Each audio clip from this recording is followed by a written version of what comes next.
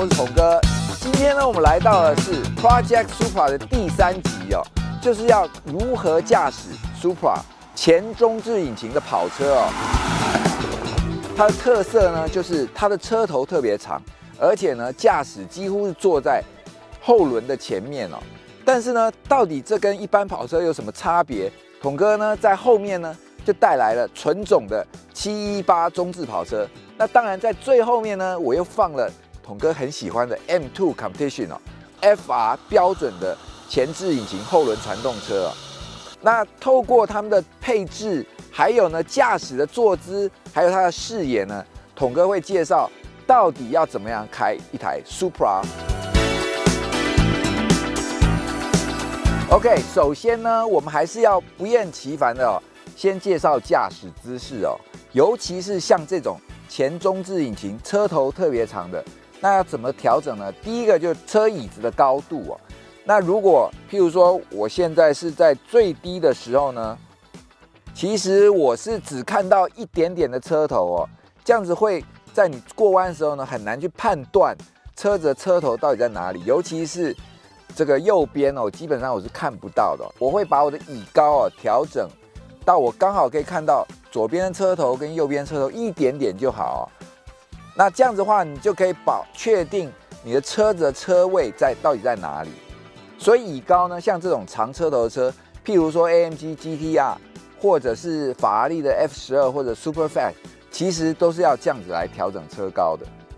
再来呢，就是调整脚的位置哦。脚的位置是很重要的哦，因为刹车踩到底的时候呢，你需要你的脚还有一定的弯曲度哦。因为呢，重踩下去的时候，其实你会整个人撑住哦。而且，呃，如果你的脚是直的呢，你在踩刹车的时候，如果发生意外，这个力量撞击的力量会从这个脚传过来，会让你的脚受伤，尤其你的膝盖的部分。那这个力量是这么用力的踩哦，所以呢。你要调整坐姿到刚好踩下去之后呢，是很这个弯曲度是有的。再来就是你的左脚呢，其实你希望它可以踩在它的休息踏板上。大家大部分人调椅背都调得非常的后倾哦，因为确实比较舒服。但是呢，我们要的是什么？就是我在抓方向盘的时候呢，或者在打方向盘的时候，其实我希望我的肩膀是紧紧的贴在椅背上。为什么呢？其实，因为最近统哥有做这个重训哦，你就知道，如果你的肩膀是靠在一个东西上的时候呢，你就可以很精准的出力跟发力哦。那它的好处是什么？就是其实除了它可以很精准以外，其实你也可以放轻松哦。长途是长途驾驶呢，才不会疲劳，这样子是最好的。尤其在激烈操驾，如果你的上身是没有固定的话，你会不断的左右抛动哦，开下来也是会非常辛苦，而且非常累的。方向盘的调整哦，方向盘调整，有些车可以上下，那有些车可以前后哦。那调整的基准是什么呢？就是希望说我调好之后呢，第一个我可以看到我的仪表，第二个呢，我的不要太高，也不要太低，太低呢会我在打方向盘的时候会卡到，太高呢我会呃转的很辛苦哦，因为我的手会一直往上抬。那调到适当的。高度之后呢，基准实际上就是手要握在三点跟九点的地方，但是要怎么调整这个前后呢？就是如果把手伸直，靠在方向盘的上方，可以看到吗？我的手腕是靠在上面，然后呢，刚好手顺着方向盘滑下来到三九，这样就是正确的姿势。而且这样子可以看到我的手臂吗？是弯曲的。我们最不喜欢的就是方向盘是。直的，直的握呢有个缺点，我们发动引擎，缺点就是我要转，其实我只要转到这里，我的手就卡住了。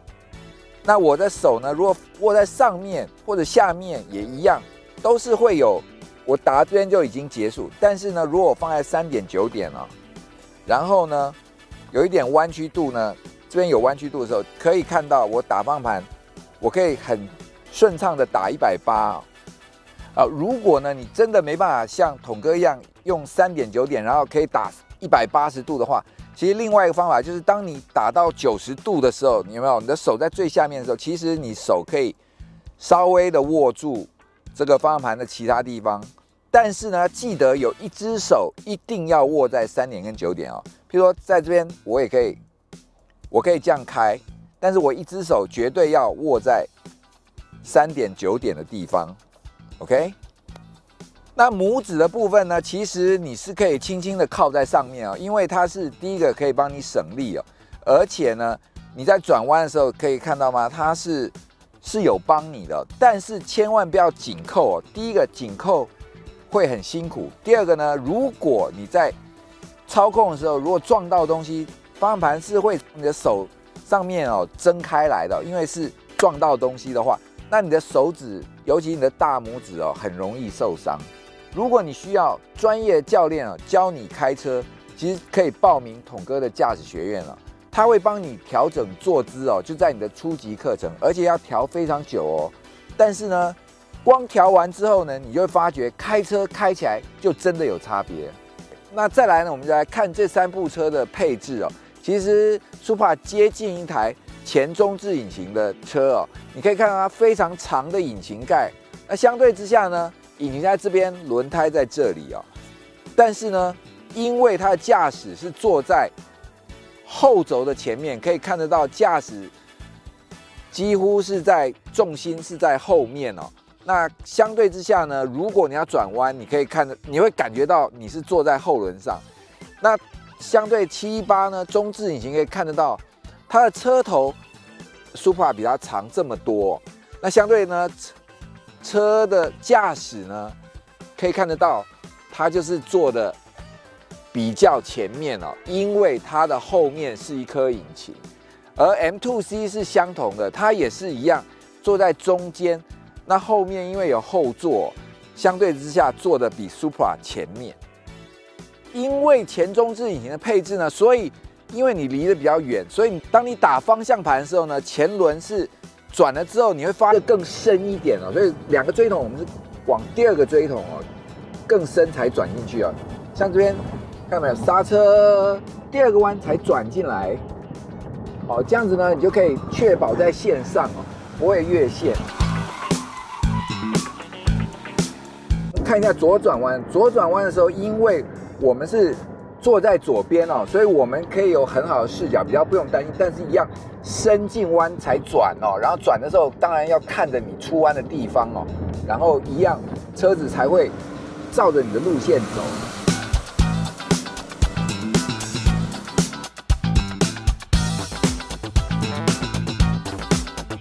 如果用一般。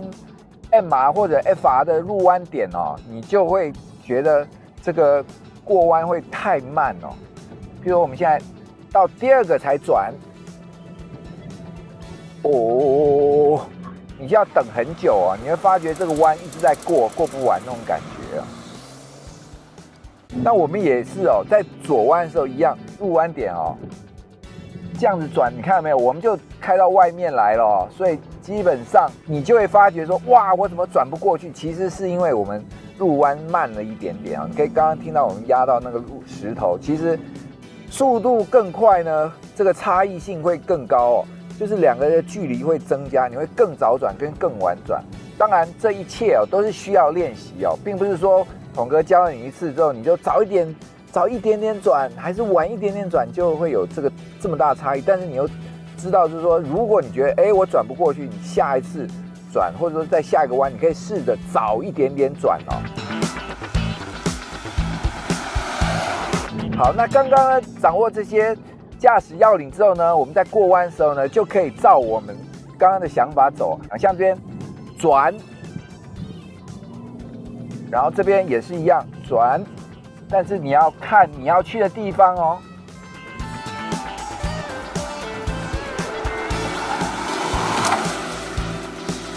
那像这样子一部前中置引擎的赛车呢，要怎么样开？那我们就听听看赛车手李永德 Jeffrey 他的说法。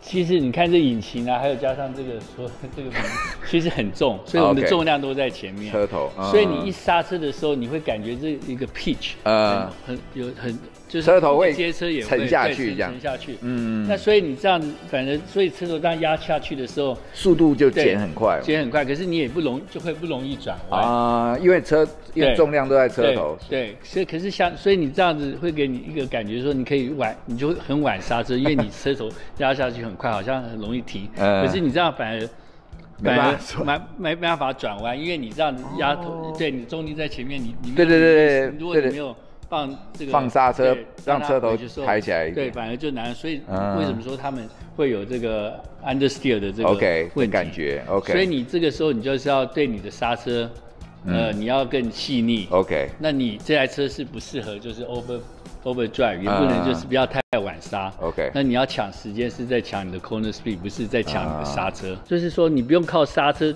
呃 late brake 来来啊争取弯中速度。OK，OK 你要配速，然后你出弯，因为它的 torque 很好，所以你只要保持的速度，不要让速度掉下去，你你出弯可以很稳的出弯。哦，嗯好好。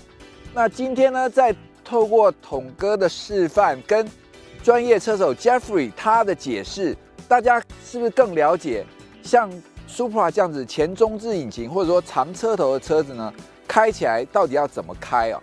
所以呢，如果你买了一些超跑，像 F 十二，或者说你从四八八升级到 F 十二或者 Super Fast，你会觉得说啊，这车怎么那么难开？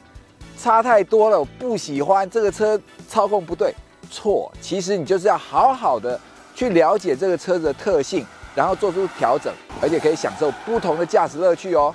那如果你需要专业的教练来教你的话，当然也可以报名统哥的驾驶学院。那我们下一集的 Project Super 见喽，